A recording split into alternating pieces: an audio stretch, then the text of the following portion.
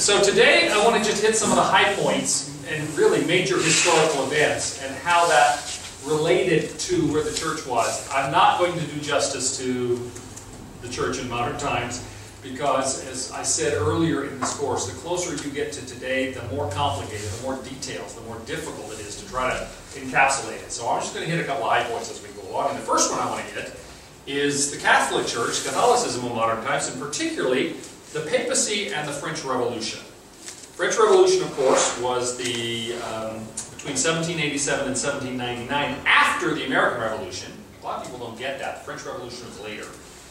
The French Revolution was an effort by the French people to take rationalism, remember we talked about rationalism as being growing and more important, you know, since the Enlightenment on, Enlightenment started in the 1600s. They took it to an extreme so that there actually was a cult of reason, it was called. And because of this cult of reason and this belief in human um, human potential, that whole modernist kind of idea, which was which again started with the Enlightenment, the idea was there that the French thought we're going to get rid of anything that limits us from, from achieving our extraordinary potential as rational beings. Well, that included getting rid of the monarchy. This is why the French Revolution is known for Seigneur Guillotine, because the way they got rid of the political control was to execute a whole bunch of them, and execute people who, people who didn't like it, who complained about it.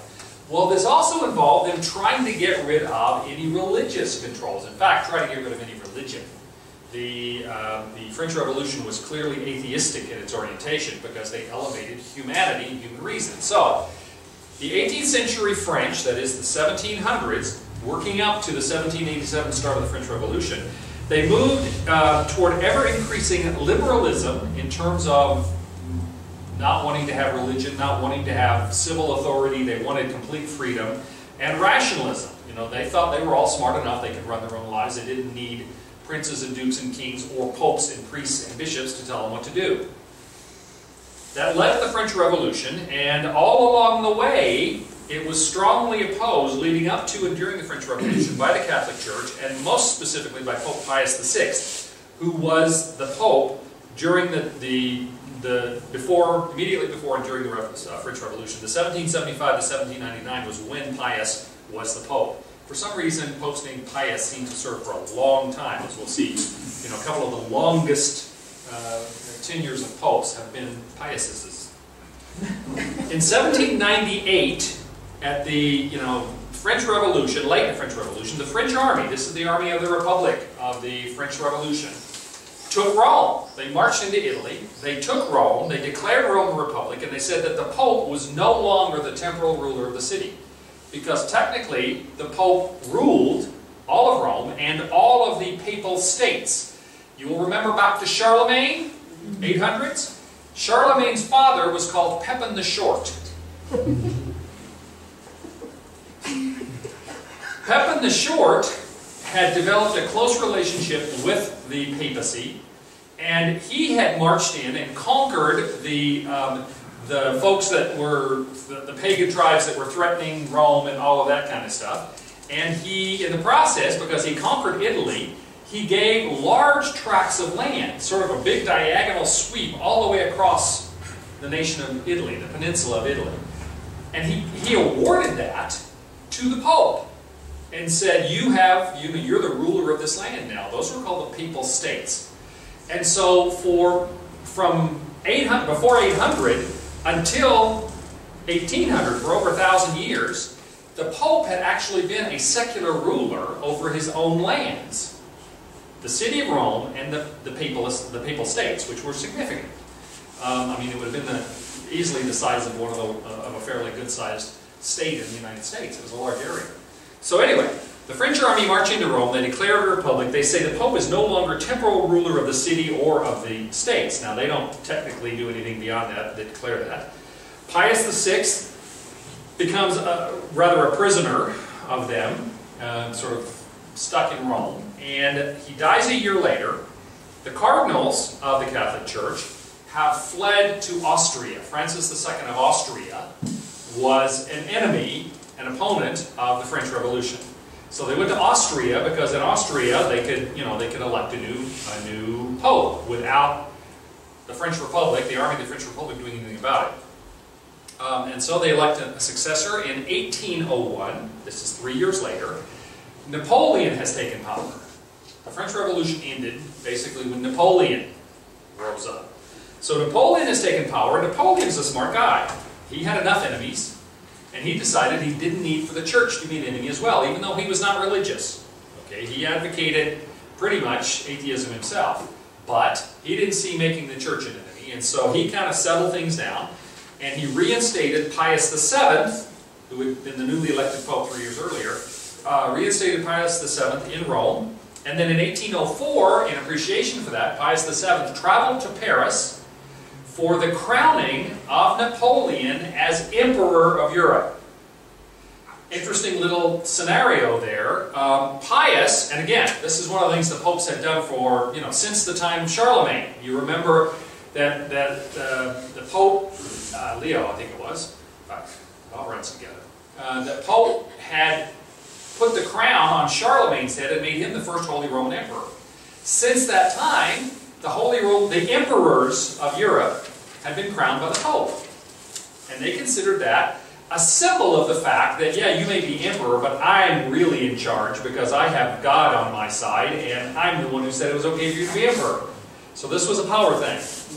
When Pius VII goes to Paris for the crowning of uh, Napoleon as emperor, Pius comes forward with the crown, and Napoleon reaches out takes it out of his hands and puts it on his own head as a very clear sign that, okay, it's fine that you're here, but you're not making me emperor. I'm making me emperor. Okay? So there was a little strain there. And then, seven years later, 1808, the Napoleonic French army invade Rome.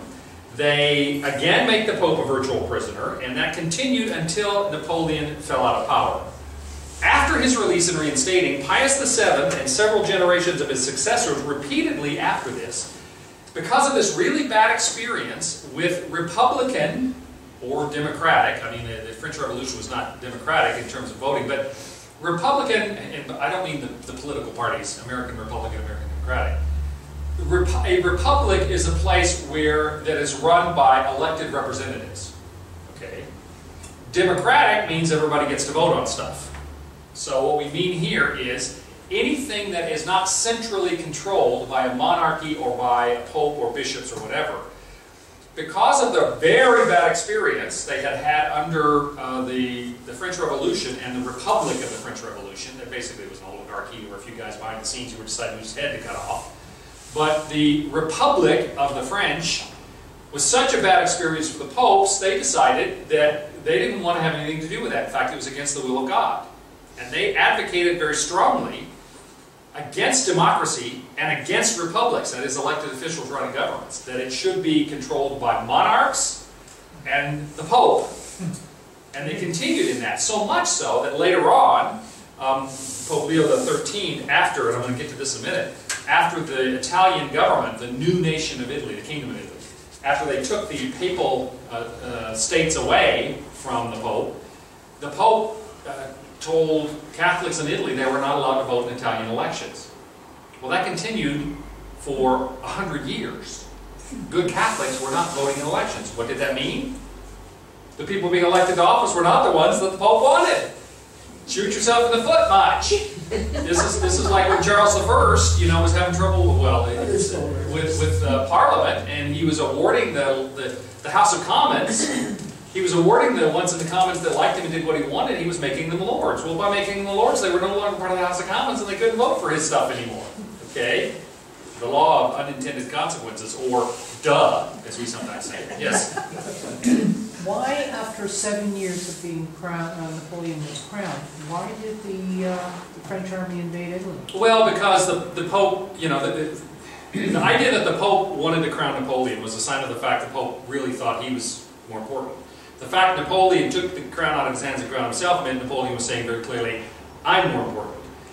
Pope, uh, the Napoleon had wanted to kind of have peace, he, but he kept having trouble. The popes, again, this is after the, the, uh, the revolution, the popes kept advocating for more power and more power. And you may be the emperor, but you need to do what I say. And Napoleon goes, Napoleon, okay, I don't do what you say. And eventually, Napoleon had enough of it, and he, he sent his army in, and they took over uh, Rome. Okay, so it was a power play. Simple as that.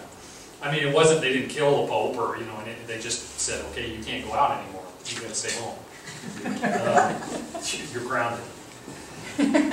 All right, now, following this, after the several generations, we come to a period in which there was a, a change in Catholic temporal power, which the popes responded to by, by trying to increase their religious power. Let me explain what that means.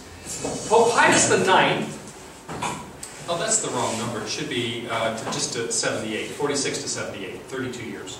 He was pope for 32 years, the longest papacy ever. And um, during that time, the popes lost virtually any, all temporal power they'd ever had. In other words, when we say temporal, the ability to have political influence, um, unquestioned political influence. Prior to this, the pope had had pretty direct influence in a lot of different ways throughout Europe, but the one area he was absolutely ruler over, absolute sovereign in, was Rome and the Papal States. They lose that during Pius IX. Um, now, uh, Pius IX, because of some of the struggles and difficulties that had happened in his predecessors, the French Revolution and the time, Napoleon the time following, uh, the, Pius IX tried to reinstate himself as an absolute monarch, meaning absolute control, nobody can question it, not the emperor, not anybody else. He pushed very hard for that.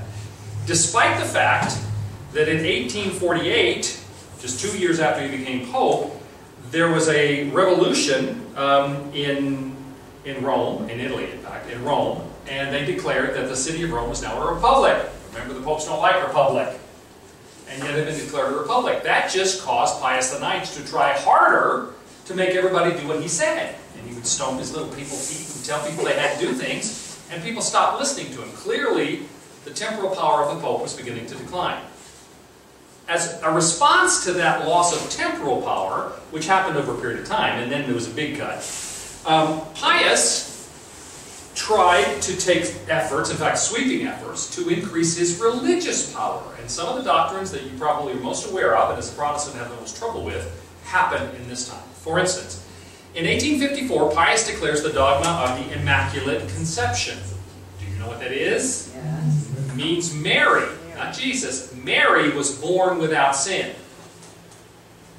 Now, Catholic theologians have argued about this point for a long, long time. Well, how could Mary have Jesus and him be without sin if Mary had sin? And so maybe, what happened there? Okay.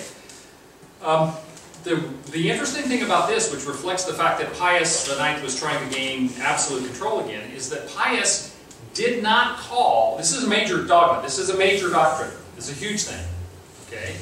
Um, it may not seem like it does, but it was to them it was kind of a test case for Pius because he did not call a council of the church to make a decision about this important doctrinal point. He declared it himself on his own and then sort of waited to see how people were going to respond to this. He got a little pushback, but not a lot. They accepted it. okay, he went, okay, so far so good. Then 10 years later, and there's a lot of stuff happening in here, but 10 years later, um, he issues what's called the Syllabus of Errors, in which he has this expansive list of all the ways in which the secular states and Protestants and, you know, pretty much everybody but him are wrong about stuff. And it includes things like he denies um, separation of church and state, the church should rule all political he denies freedom of worship and religion. Nobody else should be allowed to be anything but Catholic. You do it the way we tell you to do it. Um, and and you, can't, you can't start a new Catholic church without my permission. Okay. He denied the freedom of the press. He denied democratic process. He denied public schools, that the state does not have a right to educate children without the church, the church should be doing it. He denied the right of the civil authorities to apply their laws to the church. You remember in the last 20 or so years, the, the, the crisis in the Catholic Church over uh, sexual abuse. one of the things people had the most heartburn about in that whole thing was the fact that when bishops, or cardinals in some cases, would find out about a priest doing wrong things, they didn't report them to the civil authorities. They would transfer them or tell them you have to go into, into privately into counseling or whatever. And some of them ended up doing it again. That idea that we don't call the police when, we, when somebody is abusing children if they're a priest, but we deal with it ourselves, there are people who still maintain that idea, even though they've, they've been forced legally, they've been forced to change that now, but they still maintain the theological idea that the Catholic Church is not subject to the civil laws of the nation. That goes back to Pius, and it was a control issue. Okay? And a bunch of others. A lot of other stuff. Virtually everything we consider as being inherent freedoms of a free nation today, Pius said no to. No free speech, no right of voting, no uh, freedom of religion, no freedom of the press, no private schools that aren't run by the church, or public schools that aren't run by the church, etc., etc., etc. Okay? And we wonder why they've had problems. And then, the big one. In 1868 to 1870, he calls the First Vatican Council. And the Vatican Council says a lot of things, but the most important thing they say is that the Pope, as the the, rep, as the representative of Christ, the heir to St. Peter, is infallible. Now, you need to understand. They did not say, nor do they say today, that the Pope is always infallible. You know, his, his favorite football team does not always win. Okay? There are a lot of things that the Pope is not infallible about. In fact, the only thing they said, which most Protestants don't get, is that the Pope without the consent of anybody, even the rest of the church, was infallible when he speaks ex cathedra. Ex cathedra means from the chair. A cathedral was the chair of the bishop. That's why a cathedral. Cathedra is the chair. Hmm. So ex cathedra means when the Pope says, I am speaking with the authority of St. Peter as his heir and representative of Christ on earth, when he speaks ex cathedra, he's said to be infallible as of the First Vatican Council. That has only happened once. People are shocked by that. Okay. Uh, my question, uh, in regard to the Pope, oh, I'm sorry. Oh, it's okay. Um, is that uh, when we were talking about apostolic succession and all, we have now read all the popes that, you know, uh, name themselves popes and, uh, you know, all, the mess that the church was in. How I once had a good Catholic tell me no pope has ever taught anything that wasn't correct. Carolyn was there. I believe that, I believe that. Um, how could they possibly be saying, uh, talking about the secession, Okay, coming from. St. Peter, St. Peter's succession? Well, I don't really have a problem with that. I mean, I, to me, they, they may be successors of St. Peter, but the fault in that, I, that thinking is that just because there's a line from, you know, that every, you know, every minister that has been ordained by the laying on of hands by someone who had the hand, you know, all the way back to the apostles, Yes. and it's not just to Peter, it's to the apostles. Yeah. I think that that's very possible, that apostolic succession may be real, and people who are ordained today may be having been ordained by someone who was ordained by someone who was ordained by somebody who was ordained by an apostle. The mistake in that thinking is the idea that that's going to make them better. Okay? The original idea back in the early days of the church was, because the reliance on the apostolic teaching and authority, is that if somebody has been ordained by somebody who was ordained by somebody who was ordained by an apostle, it's more likely that the teaching they received is going to be accurate and correct. Well, 2,000 years is a long time for people to wander off of the right path, whether, no matter who they were ordained by. And so that's the error, I think, is in thinking that succession makes a difference in terms of theological or doctrinal accuracy. Now, let me answer this question, and then we'll get you. Um, the only time the Pope has spoken ex cathedra, meaning he was infallible and cannot be questioned, was in 1950 when he declared the bodily assumption of Mary. 1950, the Pope said that when Mary died, or finished her earthly mission, she was bodily taken into heaven. She didn't get buried and is in the ground somewhere before. Now, I don't know enough about it to know why that was the one big deal. Since, since the First Vatican Council, why only one time in 1950 they felt the need to declare it ex cathedra. But nothing else the popes have said have they claimed infallibility on, but they've always got that card in their pocket. Okay? We were told last week that the Catholic Church is still teaching that there's a room in the Vatican that when the Pope goes in there, whatever information, he receives direct new revelation from God and comes out and tells the people that. A certain room, huh? Are there porcelain fixtures in that room? I'm sorry. Sorry. I, I don't know that. I don't know that. I mean, there is, there, there is a sense in which the Pope is the vicar of Christ, which means he is, he is the one through whom direction for the church comes, and doctrinal direction. That, Puts it in that room. yeah, I heard. That's heard. what they're being told this now. We're looking for the key to the room. Yeah. Yeah. John, you have a question? In regards to what Roberta was saying, I think her point was not questioning this, the pope succession, but there's a point when you have three guys that say they're popes. So obviously, there's a breakdown in the succession, and I think Yeah. that's what she was pointing. Well, and, and that's why And the the, reliability of it. that's why the Great Schism was a problem, because that was, there had been anti-popes before, that's what they're called, anti-popes. Somebody who's not, who claims to be pope but doesn't have a right to. The Great Schism was problematic because the same cardinals that elected Urban got mad or scared or whatever it was, and they left, and they elected another pope. So for the very first time, now they, all of them were already bishops and cardinals. I mean, a cardinal is just a bishop with a special hat. So it's true. You know, bishop is the highest position in the church. The pope is a bishop.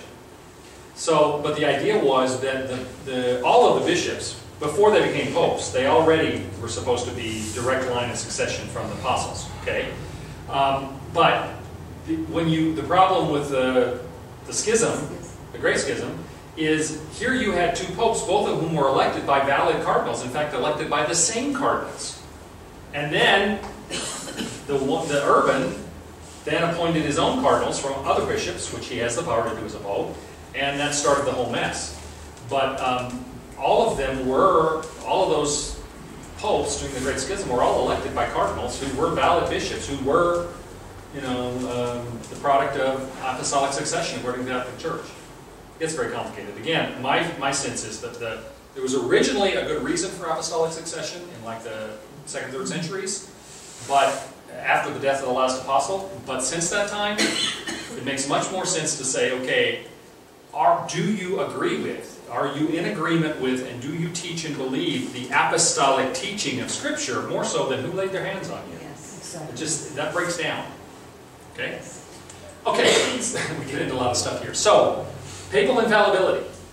The idea that when he speaks ex cathedra, which he has only done once, remember that. I mean, some people, I know people who think the, the Pope is supposed to be infallible in everything he says. That's not true. That's not the doctrine. But he always has the ability to say, when he really feels he has to, I am saying that it's ex cathedra, and that's all he has to say, and no one has the power in the Catholic Church to tell him he's wrong. Okay? Then, following this, you'll see these days, 54, 64, 68 to 70 was when the council met, and then on September 20th, 1870, the Pope had known that his power was sliding in terms of temporal power, and so he's trying to bolster his religious power with these new doctrines. In September 20th, 1870, the troops of the new Kingdom of Italy took the papal estates over despite the Pope's protests, and they put an end at that point to all temporal power of the Pope. In fact, at that point, the Pope wasn't ruler of anything. There wasn't a Vatican yet. They did allow the Pope to keep several palaces. In fact, that's this one. The Pope's sovereignty was limited to a few palaces that Italy allowed him to keep. It was much later, 59 years later to be exact, in 1929, that Italy acknowledged that the Vatican, Vatican City as we call it, was not just a city or a, location, but rather was a sovereign state. It was at that point that it became its own nation, with the temporal ruler of that sovereign state, the Vatican City, being the Pope. And at that point, 59 years later, the, it- the nation of Italy actually compensated the Catholic Church for having taken all that stuff away from them. Probably not dollar for dollar, but they gave them some. Okay? Questions about any of that? Yes. Yes. What, This isn't on the test, so. um, okay, this bodily assumption of Mary. uh, what would have prompted him to do that? I don't know. I, it, and I, I'm, sh- I can tell you what I'm pretty sure it would have had something to do with it, and that is um, Mariology.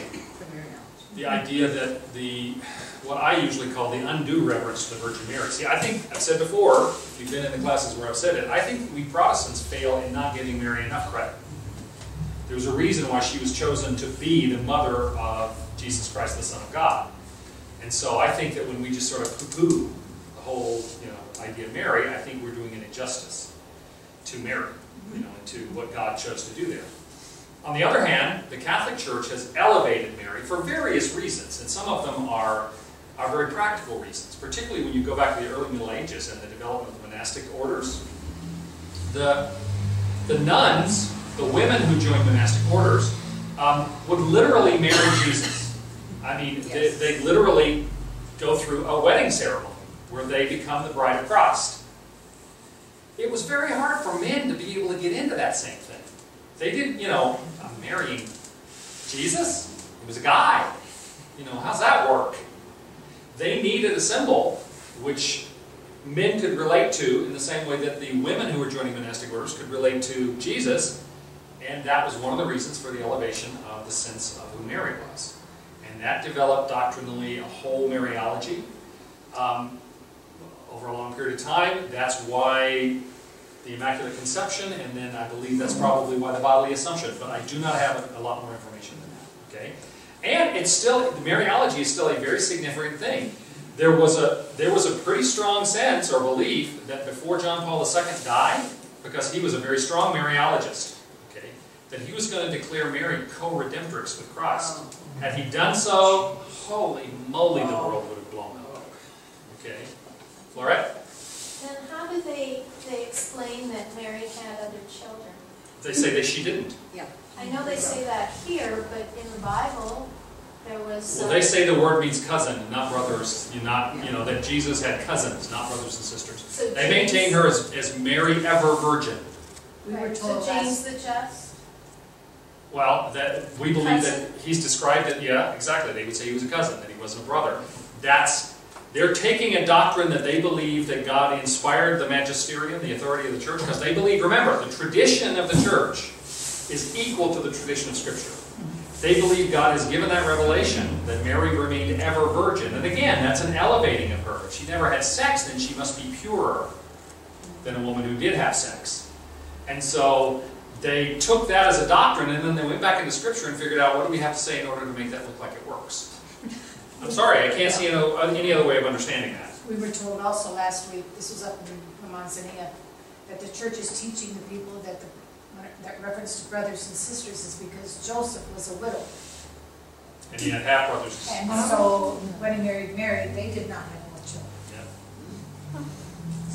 He was a widow twice removed. I mean, again, we can come up with all kinds of supposed explanations, but it has to do with interpretation of one word, and, and only the most, most traditional of Catholic scholars read that and say that doesn't mean brothers and sisters. You, any, you know, anything other than the most traditional, even Catholic scholars say it's, it does say brothers, you know. Yes, Ron. Uh, In our neighborhood, there's a very nice depiction of the Virgin Mary and John kissing her, her ring. You know, like a Mariology Yeah. thing, the Pope kissing the ring of uh, Virgin Mary. Well, they do that to popes and bishops and everything else. In fact, Carolyn and I had dinner with some Anglicans last night. They were talking about a friend of theirs who was a bishop and who got enthroned as a bishop. It's not a word we would think of. Not installed, but enthroned. Okay, let's keep going here. I want to talk about modernity and the Christian message. Again, the modern age, or modernity, began with the Enlightenment, which was 1650 to 1800. It was a long period of time. It was the rise of rationalism, uh, the age of reason, it's sometimes called. So from the Enlightenment on to, depending upon where you count it, some people say the Enlightenment may have ended at the Great Depression because it was depressing. people weren't so optimistic anymore, which was the characteristic of modernity. Or some people say that it ended with the nuclear threat. Some people say it ended with the, the, in the 80s with the explosion of communication media via the electronic, digital stuff, because that opened up the world in such a way. But either way, modernity, as it was called, started with the Enlightenment, was characterized by optimism and a belief in the potential for human perfection, not through faith, not through religion, but through science and reason. Now, initially, that didn't start out as being automatically anti-religious, but it developed that over a period of time, because the whole focal point was, you know, oh, the things I know, you know, the potential that I have, the potential we have, we can do anything, you know, we can, it's sort of like the Tower of Babel, okay, we can go to the stars. We're going to live forever, there's going to be no disease, there's going to be no war, everybody's going to get along, my clothes are always going to fit, the world is going to be perfect. Where's my jetpack? Where's my jetpack? Exactly. Um, that was modernity, okay? This optimism. Now, there was some positive aspects with regard to the church or Christianity in that. One of the things was that that level of optimism led to the modern missionary movement. The idea is, now there- there was some, some racism in this. We white people have been so blessed, we have so much potential, things are so good, we need to go share this with the little people in the back. We have a friend who always flies first class, and he says, and I'm always thinking, I wonder what the little people in the back of the plane are doing. well, that was kind of the way a lot of the early missionaries felt, is those poor savages, we need to try to help them too, because things are so good for us. But either way, now it's not to say that all those missionaries were, you know, thought that way. Many of them sacrificed everything, including their lives, for the missionary efforts. But that kind of optimism of the potential of what can be done if we apply ourselves to it, combined with a very serious and sincere Christian faith, led to the modern missionary movement. We can take this message out and, and share it with the whole world. And that missionary movement has continued until today. I mean, uh, some of the modern, modern organizations, their goal is that everybody hear the word of Christ. In fact, um, Bill Bright, uh, one of his um, one of his stated goals, he died a number of years ago. Many many years ago, he said that everyone in the world would hear the gospel of Christ by the year 2000. Well, they didn't hit that goal, but trust me, they did a whole lot more than they would have otherwise if they hadn't set that goal. Okay, so you get that idea. Now, this missionary uh, zeal and this optimism of the missionary movement led in the 19 in the 1700s, especially, to the formation of a lot of international missionary organizations, many of which still exist today. Right, and so the benefit has happened from the 1600s, especially the 1700s, and even to today, in terms of some of the major uh, worldwide mission agencies and organizations, having been around for 300 years. Okay. Now, this same modernity also resulted in the international ecumenical movement in the 19th century. And the ecumenical movement really grew out of the missionary movement to a great extent. Ecumenical means pertaining to the entire inhabited earth. That's what that word means. Right? It's like Catholic means universal, it's similar. Ecumenical means everybody. And it particularly related to the fact that more and more Christians, after having come out of a history of the Christian church, where if you didn't agree with me, you know, uh, my old friend Bruce Bowe, was very funny, he used to say, they're not like us, let's kill them. that had been very much the, the attitude of so many of the Christians down through the ages, especially if they were Anabaptists. Let's go. Mm-hmm. And so the idea was, we don't want to go there anymore. If we all believe in the same Christ, even though we some dunk and some sprinkle, you know, etc., some have bishops and some have elders, let's work together if we have the same basic belief. And so this was the ecumenical direction, the belief that all Christians share more in common than they have in differences, and that Christians and Christian churches can work together for the good of the kingdom, and especially for the missionary efforts. Again, the ecumenical movement came to a great extent out of this missionary uh, movement. Um, and, and let me say, initially, there, there were not, other than that, like denominational differences, there weren't major theological differences in the ecumenical movement early on.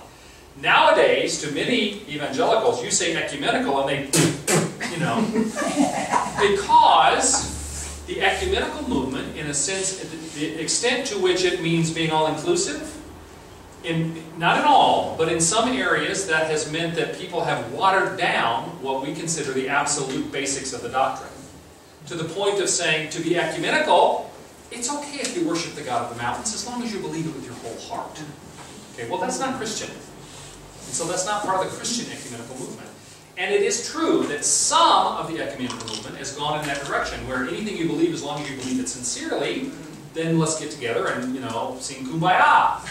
Um, but that's not what, where it started, and there's still a significant part of the ecumenical movement that is not there, that is still conservative in their theological basis as Christians, but believe, you know, let's focus on our similarities and work together as much as we can, right? That's why in our church we pray for every other church in town as often as I can. Baptist, Pentecostal, Catholic, uh, Anglican, you know, non-denominational, whatever it is, because they all are seeking to honor Christ. And so good on. You know, we want to be together in that, even though we may have some doctrinal differences. Okay. Now, again, consistent with the, the optimism of modernity, it led to the first, very important, first World Missionary Council in 1910 in Edinburgh. Now, there were missionary societies, and they tended to work together in ecumenical movement. But in the 20th century, we actually had that congealing into global mission conferences and mission efforts. There have been many world mission conferences since then. Um, it's appropriate the first one was in Scotland because Scotland has been the source of so many great preachers. My mentor in preaching was Scottish, Ian Pitt-Watson. So um, that in turn uh, led to, and again, a lot of people have a bad taste in their mouth about this, but it, it didn't start out in a way that we have problems with. That led in 1948 to the founding of the World Council of Churches. It's simply a truth that whenever you are trying to have one central um, body or organization or whatever that includes many, a very diverse multiplicity of things, there's always a danger that somebody's going to feel like you're watering down the wrong thing. You can't, you know, you have to be softer on some things or you can't get everybody involved. And so there's an extent to which the world, there was a, there's a National Council of Churches in the United States that was called the Federal Council of Churches originally, and then the World Council of Churches, and a lot of people do picture them as being very liberal in their theology, influenced by, you know, um, 19th century and early 20th century German theologians and all that. And to some extent that's true, but not universally true. And it started out as a real desire, especially to share the gospel with more people around the world. Okay? Now, we talked about the First Vatican Council and papal infallibility. Let's talk about John the 23rd and the Second Vatican Council. John the 23rd is one of my favorites. Okay? In fact, both he and John Paul II are still considered candidates for uh, sainthood. The interesting thing is, in October of 1958, the cardinals got together to elect a new pope, and they couldn't quite decide who they wanted.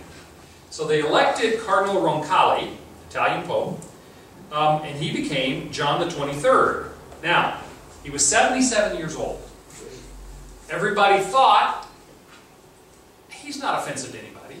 He's not going to do anything. But got somebody to sit in a chair for a year or two until we can elect somebody else. He took the name John the 23rd, which is interesting because there had been another John the 23rd. One of the anti-popes of the Great Schism had been John the 23rd. Well, they should have known at that point that this guy was not quite as, you know, easygoing as we think. Um, but he took the name John the 23rd, and um, three months later, he declared his intention to call an ecumenical council of the church. He said he felt it was time for the Catholic Church to receive a major updating. He actually, I can't, I can't remember the, he's an Italian word for it. Um, to update the church. And when somebody says, what do you mean by update? He walked over and he opened the windows and he said, let the fresh air in. Now, he was strongly opposed by the Curia, that is, the Vatican structure, because they really felt what they had to do was, you know, entrench, nail things down tighter, get more control, not, you know, and he's talking about letting fresh air in. We want to make sure we're buttoned up as tight as we can be. And so he had a lot of opposition, but he wouldn't take no for an answer, and he was the Pope. And so he called the Second Vatican Council. It convened on October 11th of 1962. And there were several things about it that were quite interesting. One, it was the first time in major that any major Catholic event had the majority of their delegates from outside Europe, Canada, and the US. 54% of the, of the delegates to the Second Vatican Council were from the Far East, Africa, Latin America. Probably, you know, the Pacific nations as well. But the idea was the power bloc, especially of Western Europe, didn't have power anymore.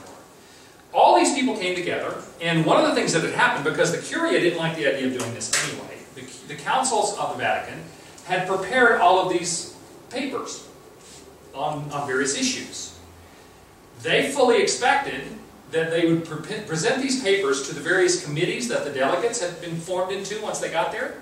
They would present these papers to these committees, and the committees would say, okay, if that's what you want, boss. Well, they started presenting these papers to these delegates who were from Africa and Asia and Latin America, and they looked at it and went, no, we're not going to do that. And the Curia, the Pope had called these people together. They were all bishops or theologians or representatives of the church. And the Pope was not going to back the Curia in telling them what to do. Because he wanted to let fresh air in. So they began to deal with these issues because the majority of the assembly made it clear that they agreed with Pope John the 23rd it was time for some change. Well, John the 23rd died in June of 63 before the um, end of the council.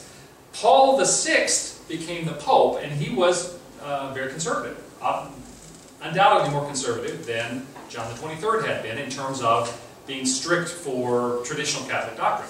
And yet, to everybody's surprise, John the 23rd did not, they thought, the, the, the, the really conservative ones thought that Paul was going to just shut it down. Okay, we're done, go home. He didn't do that. In fact, in his opening message, when he took over, before the gathering of the, the they, brought, they had several sessions during this period of time, before the next session after John the 23rd died, he had an opening speech in which he declared he was very much in support of what John the 23rd had stood for. In fact, he used the quote, which I have here, that the goal, their goal was to build a bridge between the church and the modern world. And everybody's shocked that this very conservative new pope was agreeing with this.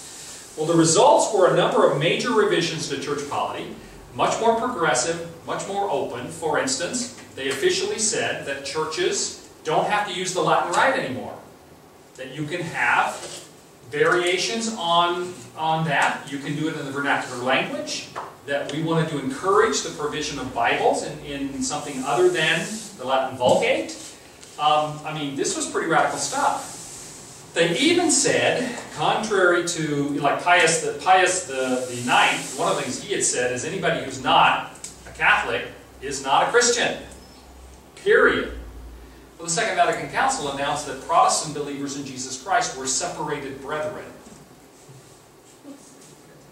whatever that means. But it certainly is not, you're going to hell. There was an openness to fellowship. Some of this relating to more ecumenical kind of feeling. But it was a radical difference. This is the first major change since the Council of Trent, 400 years earlier.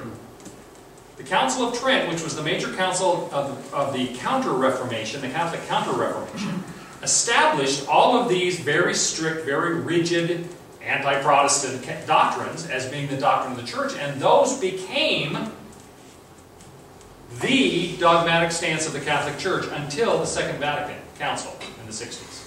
Okay? Um, it was huge. What was the first Vatican? That's the one that Pius IX called that declared him infallible. Okay, that was the first Vatican Council.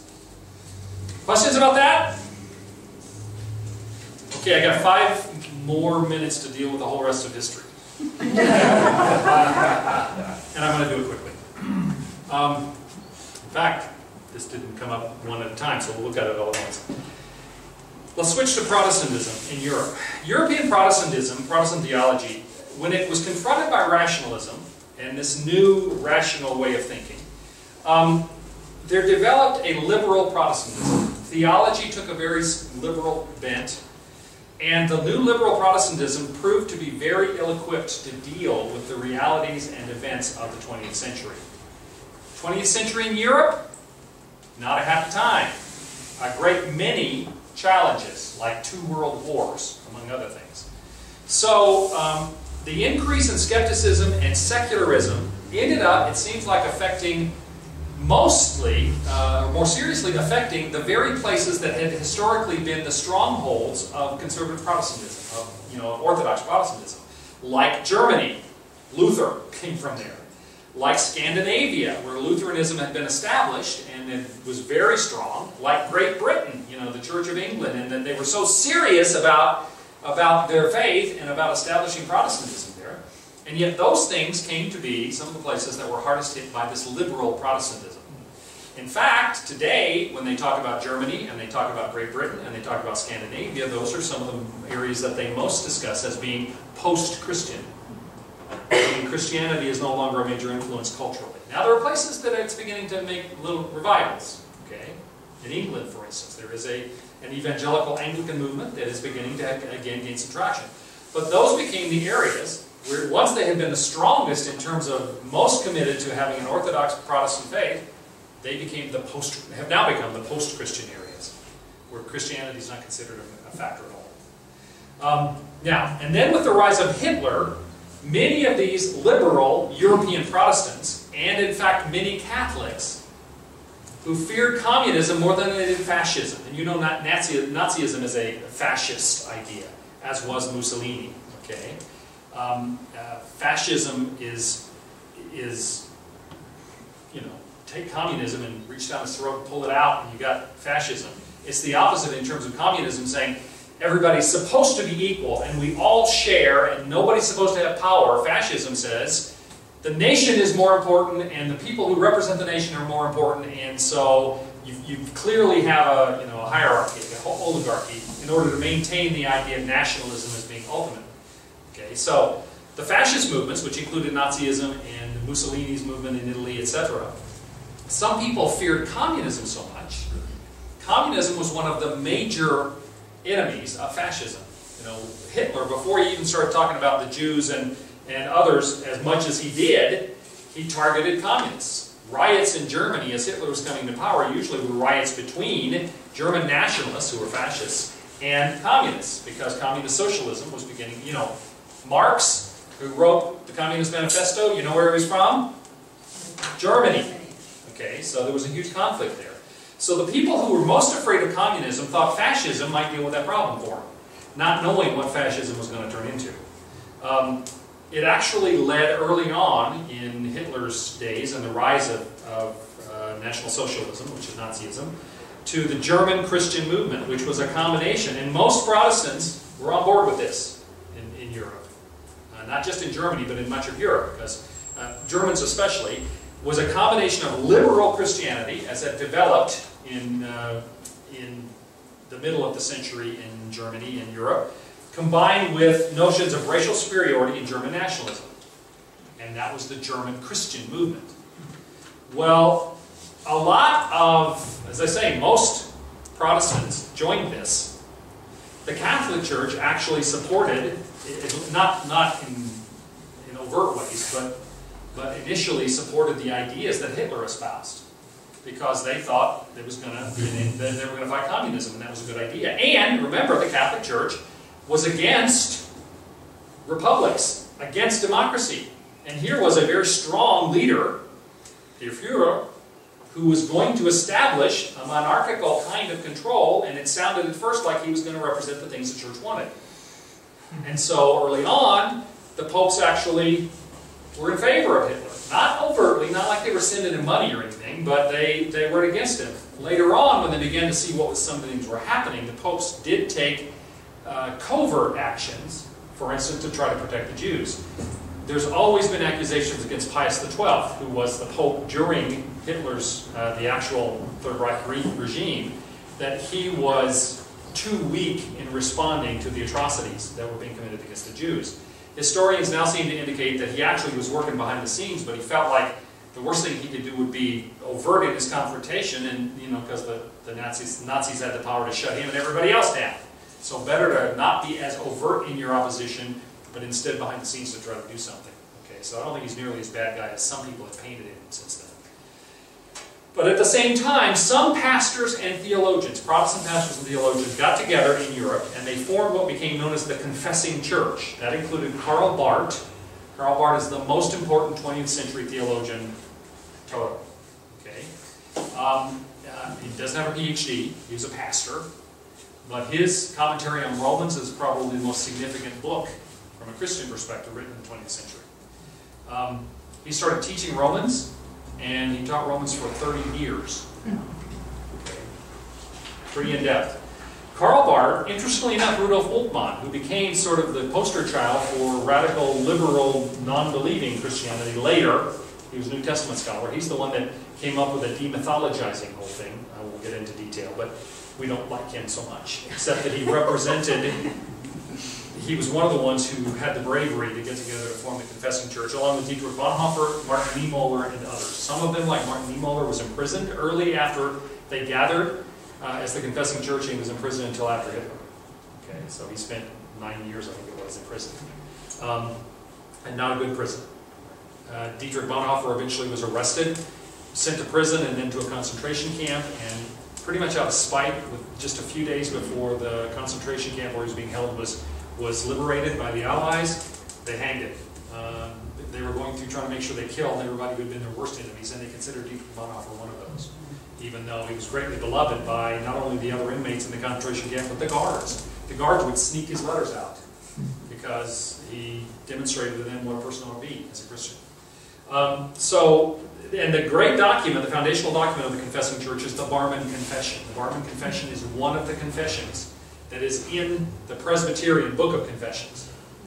And it is a statement, declaration that, you know, against the authoritarian political environment they faced, and that a Christian has an obligation to stand up against that kind of thing in favor of the truth of Jesus Christ, even if you pay a price, which most of these guys did. And lastly, in 30 seconds, I'm going to give you the whole rest of history. The First World War, um, again, there's this all this optimism, this great, you know, we can do anything. The First World War came along and devastated all of Europe. I mean, when I say devastated, I'm not going to quote statistics, but there wasn't a town, probably not a home in Europe that was not affected by the First World War in terms of the loss of life and things. Millions of people killed. It's not just military, uh, but civilian as well. The U.S. got involved in it, and even though the U.S. only came in late in the game, and our they weren't fighting battles on our territory, and so we didn't feel it the same way that they did in Germany and France and Belgium and places like that. Still, there was a sense in which, how can we be so optimistic when this is happening? A whole generation killed, British and French and German, okay, and Belgian and you know Luxembourgian, etc. Um, and that had a major effect in terms of the churches all of a sudden backing up and saying, how do we deal with this kind of suffering? How do we deal with atrocity?